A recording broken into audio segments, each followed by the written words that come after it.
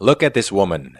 When she's given a stimulus in the form of a loud noise from the bicycle horn and the sight of the bicycle accelerating towards her, her neurons produces a response to avoid it. In response to stimuli, impulses follow a specific pathway, starting from the sensory neuron to the interneuron and finishing at the motor neuron. For details, watch again the process of the body's response to the stimuli. When the ears listen to the sound of the bicycle horn, the receptors in the ears, especially at the ending of sensory neurons, are stimulated.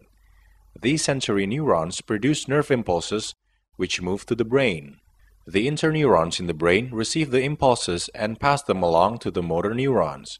Impulses travel down the axons of motor neurons to the muscles, so that the muscles contract and make the head turn as a response to the bicycle horn.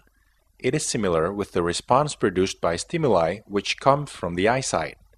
When her eye sees something accelerating towards her, the immediate response is to move her leg muscles to avoid it.